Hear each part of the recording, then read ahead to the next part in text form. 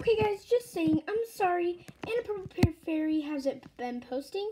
She has been working on her Barbie episode, the part two of that episode.